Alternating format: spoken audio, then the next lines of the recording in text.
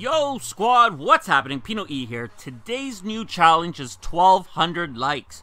We've destroyed 600, 700, 800, 900, 1000, 1100, and for today the goal's 1200. So stop what you're doing, click that thumbs up. Now that you've done that, let's take a quick look at tomorrow's drops. First up, we got the collaboration between Wings and Horns and Adidas Originals. The collab is made up of four pairs of kicks, including this pair up on screen of the NMD R2 coming dressed in a dark gray one-piece leather upper. Find them at the retailers up on screen for $190.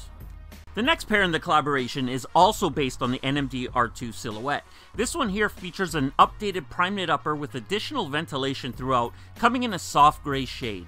These will be available at the same locations, however the retail for this pair is set at $180. And last for the collection are the Wings and Horns Adidas Campus 80. The two pairs feature a deconstructed aesthetic and are constructed from premium leather in a dark navy or light gray colorway with additional stitching serving as the side panel three stripe branding. Find them at the same retailers as the NMDs with a retail price of $160. Nike has a few pairs of the Vapor Max planned for tomorrow, and first up, we have the Nike Air Vapor Max Asphalt. Dropping in both men's and women's sizing for $190 retail, the pair comes built in a dark gray Flyknit upper with tonal stitching throughout. These will be available on the SNKRS app and at most Nike sportswear retailers. The Nike Air Vapor Max Pale Gray is next, and if you're looking for this pair, then heads up because they won't be as widely available.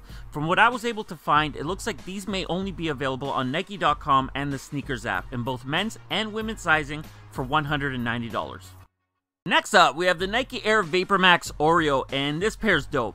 The pair also drops tomorrow at 7 a.m. Pacific or 10 a.m. Eastern, and these will be a Nike Lab exclusive, dropping at global Nike Lab locations, along with Nike.com slash Nike Lab. Retail price on these, like the rest, is set at $190. One last Vapor Max to talk about, and it's these up on screen, coming in a white Flyknit upper with hits of ice blue on the tongue and the dynamic flywire. These are dope as well, and they're a double exclusive. What's a double exclusive, right? Because I just made that up. They're a women's exclusive and a Nike Lab exclusive. That makes them a double exclusive, and they drop tomorrow for $190. And last up for tomorrow's drops, we have the Supreme Nike Air More Uptempo Pack. These three pairs all drop tomorrow at 8 a.m. Pacific or 11 a.m. Eastern, exclusive to the Supreme website only, with a retail price of $180 each. I get asked a lot, what are my chances to cop? How long will it take until they sell out? Well, here, take a look at last week's drops on the Supreme website. A sweater took 16 seconds. It took 16 seconds for every sweater in that one style to be added to cart payment info added, shipping info added, and checkout completed. So yeah, you have a chance. It's just a real shitty one, but good luck. Time for some sneaker news, and we're going to start with the Reebok Alien Stomper Final Battle Pack. Inspired by the epic final battle scene, the Alien Stomper is featured in a special two colorway pack, in one yellow and black striped colorway inspired by Ripley's Power Loader robotic cargo suit, and the other in a glossy finish referencing the Xenomorph Queen. If you're a fan of the movie, then this is a must for you. It's definitely not a must for me, but if you like them, then they drop on July 18th as a pack for $325. Over to Adidas, and let's start off with the Adidas EQT Support RF Prime Knit that's dropping on May 1st in two colorways. The first pair comes in a frozen green core black and easy green colorway, and the other in a white core black and off-white colorway. Both pairs are built as a one-piece prime knit upper sitting on an EVA midsole. They also both drop on May 1st at select Adidas retailers along with Adidas.com for $160 retail. And last for Adidas, we have the official images of the Adidas Pure Boost DPR multicolor. With this new model, the upper is built using a knitted mesh that allows for breathability. The colorway is multicolor and it sits on a white mid and black outsole. Now, about the multicolor, I know that this is subjective and it's going to be purely my opinion, which some might agree with and others might disagree with, but I don't like it. Nike pioneered the multicolor look when they introduced Flyknit, and it's dope. It looks multicolor and the colors really pop out of the shoe.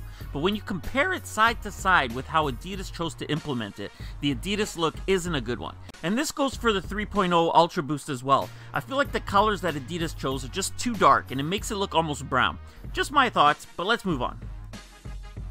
Over to Nike now, and first up, we have some new looks at the Nike Air Foamposite Pro Tech Fleece. And for the first time ever, Nike chooses to wrap the Foamposite shell in a full dark gray Tech Fleece.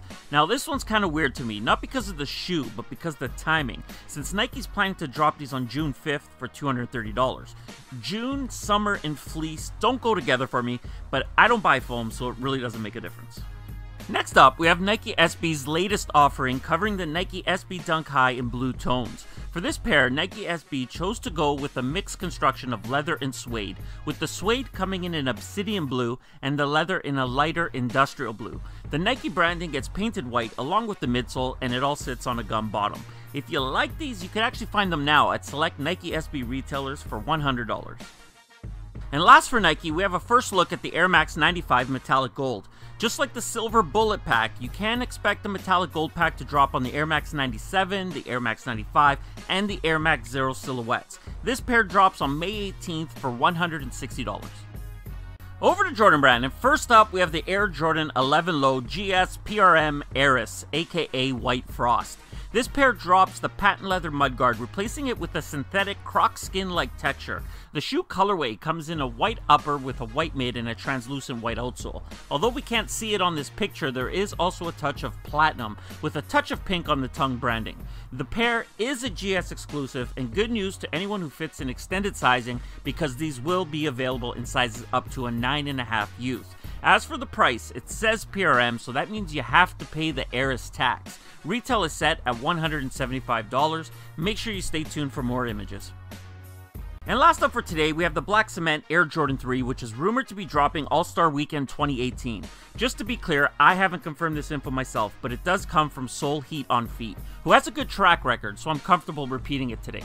The colorway is classic, I'm not going to spend any time talking about that, but they will come with Nike Air on the heel. Now, this doesn't surprise me at all. 2018 is the 30th anniversary of the Air Jordan 3, so we should expect these and a bunch of other colorways throughout the year. Also, I think Saturday is going to be a double upload kind of day. If you want to know more of what's expected in 2018, make sure you check it out. Oh yeah, retail for these will be $220. And that does it for today's video, everyone. If you enjoyed it, and I hope you did, hit that like button. If you're new around here, subscribe, join the squad. If you have something to say, leave it in the comments below. And I'm out.